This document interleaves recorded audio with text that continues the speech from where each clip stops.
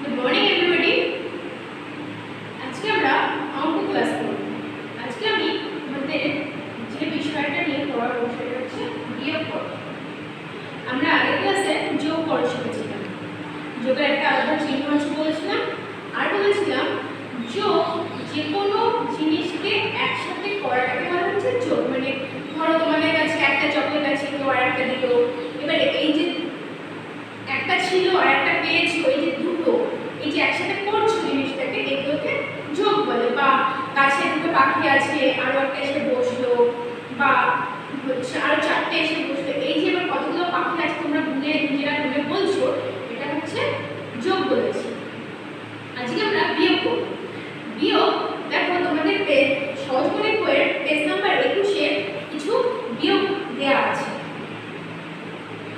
এইরকম বিয়োগগুলো আমরা করব না এগুলো একটু বড় আছে বিয়োগই করব কিন্তু এই বিয়োগগুলো একটু বড় আছে আমরা একটু ছোট বিয়োগ করব মানে ছোট ছোট সংখ্যা ছোট বিয়োগ মানে ছোট ছোট সংখ্যা এখানে দেখো পাঁচ তিন নয় উপরের সংখ্যা যেগুলো আছে সেগুলো বড় আছে নিচের সংখ্যাগুলো বড় ছোট সমান আছে আমরা এই ধরনেরগুলো করব না আমরা এই সংখ্যাগুলো একটু ছোট করব আর নিচের সংখ্যাগুলো আরেকটু ছোট করব ঠিক আছে এবার আগে বিয়োগ কোন জিনিসগুলোকে আমরা বলে, ধরে থাকি বা বলে থাকি, সেগুলো একটু জেনে নেব। তারপরে আমরা বিয়োগ চিহ্নটাকে শিখব তারপরে কীভাবে বিয়োগ করতে হয় সেটা জানব। তাহলে আমি তোমাদের যখন বোর্ডে কাজগুলো করাবো বা বলব, তখন একটু বোর্ড দিয়ে তোমরা শুনবে। দেখো, তোমরা সবাই বোর্ডের দিকে খেয়াল করবে।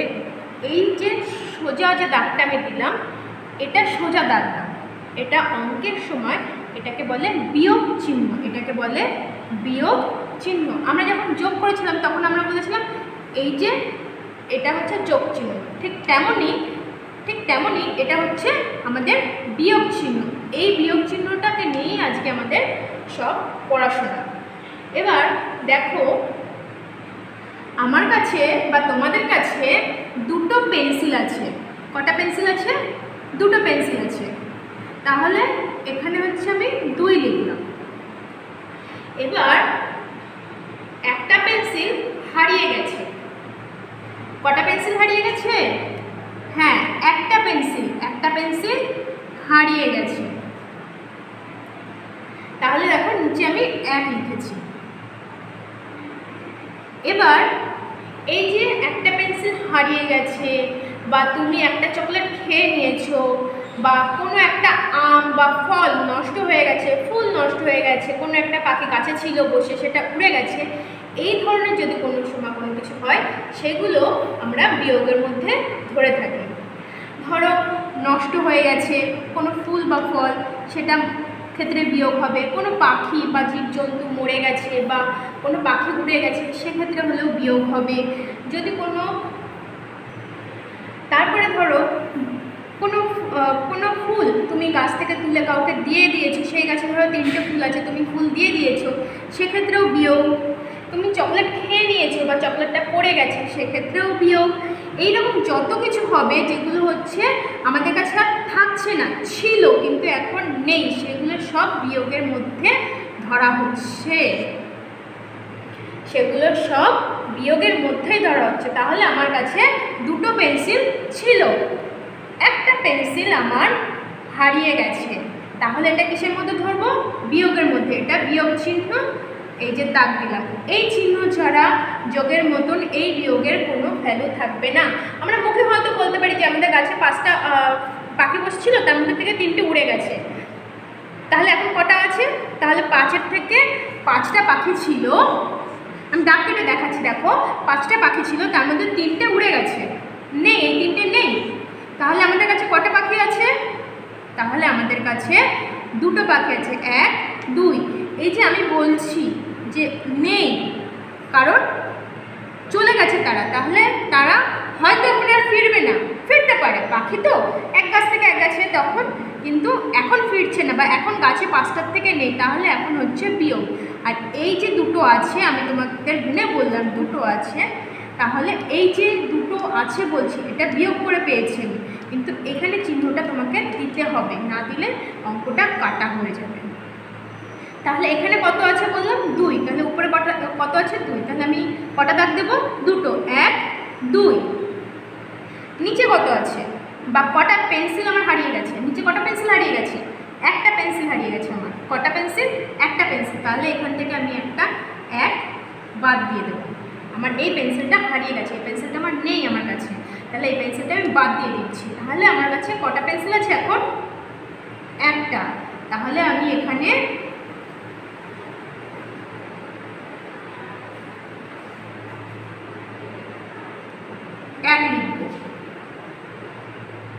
ঠিক আছে?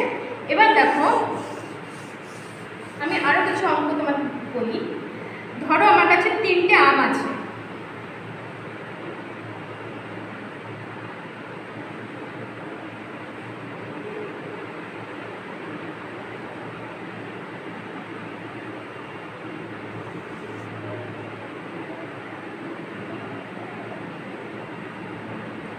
তিনটে আম আছে এই তিনটের মধ্যে এই একটা আম আমি খেয়ে নিয়েছি। কটা আম খেয়ে নিয়েছি আমি? একটা। এই একটা আম আমি খেয়ে নিয়েছি। তাহলে আমি এখানে কত লিখব? এক লিখব। এবার আমাকে গুনে বলতে হবে এখানে কটা আম আছে। তোমরা গুনে বলো তো কটা আম আছে? হ্যাঁ একটা, দুটো। এখানে কটা আম আছে? দুটো। তাহলে আমি এখানে নিচে দাগ দিয়ে দুই লিখতেই পারি। লিখতে পারি। কিন্তু চিহ্ন দিইনি। সেক্ষেত্রে কিন্তু অঙ্কটা কাটা হবে। এখানে চিহ্নটা আমাকে দিতে হবে, ঠিক আছে? এখানে আমাকে চিহ্নটা দিতে হবে। তাহলে এই অঙ্কটা রাইট হবে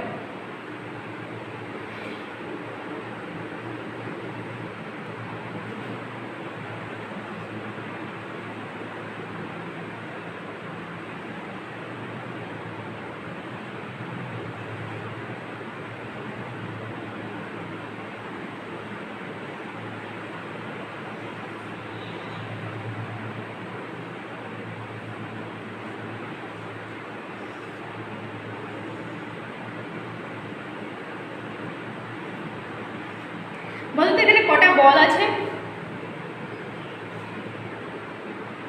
এক, দুই, তিন, চার, তাই তো? তাহলে কটা বল আছে? চারটে।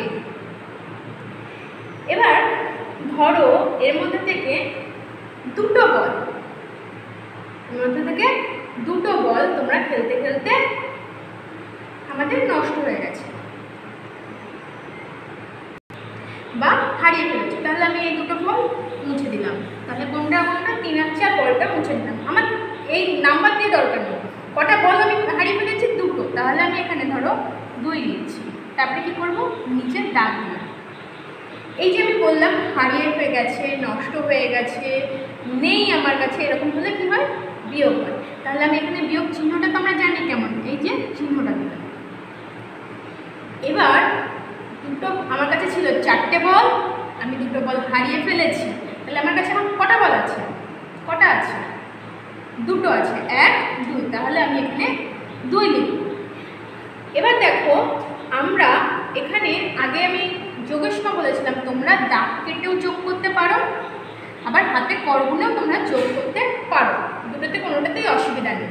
তোমাদের যেটা সুবিধা মনে হবে, তোমরা বিয়োগের ক্ষেত্রেও সেটাই করবে। শুধুমাত্র খেয়াল রাখবে, এই উপরের সংখ্যাটা বড় সংখ্যা, এই সংখ্যাটা এখানে বসবে, যে কত সংখ্যা থাকবে সেই কটা দাগ বসবে।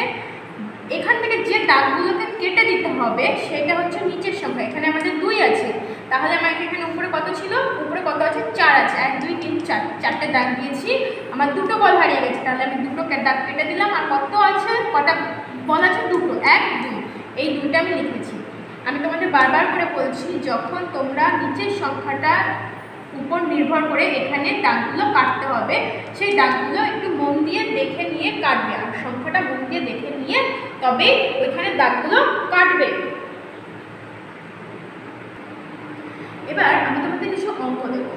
বিয়োগ তোমরা সেগুলো খাতায় লিখে কাজটা করে আমাদের হোয়াটসঅ্যাপ নাম্বারে যখন অঙ্ক পাঠাও, তোমরা হোয়াটসঅ্যাপে পাঠাবে হ্যাঁ? আচ্ছা এবার তোমরা প্রত্যেকে তোমাদের খাতা পেন্সিল রাবার বার করো। তোমরা খাতায় অঙ্কগুলো লিখবে মানে বোর্ড থেকে দেখে খাতায় করবে, করে নিয়ে সেই কাজগুলো করে আমাদের পাঠাবে।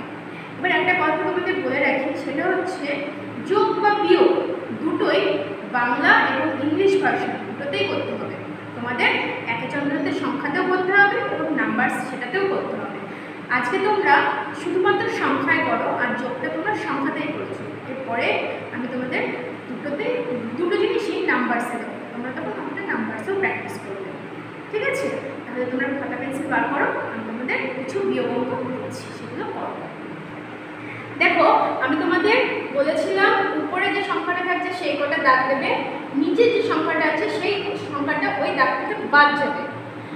আর এইরকমভাবে আমি তোমাদের অঙ্ক বুঝিয়েছি বা এরকমভাবেই অঙ্ক, তোমাদের অঙ্ক বুঝিয়েছি। কিন্তু এখানে দেখো আমি দুটো অঙ্ক দিয়েছি, একটু অন্যরকম। কীরকম আছে?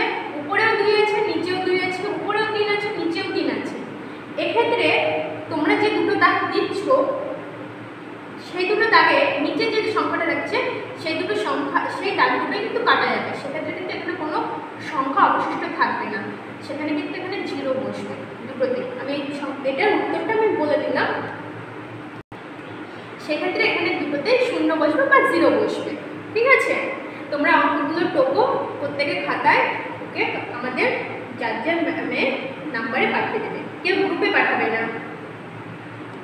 আর প্রত্যেকের নাম রোল নাম্বার সেকশন অবশ্যই লিখবে।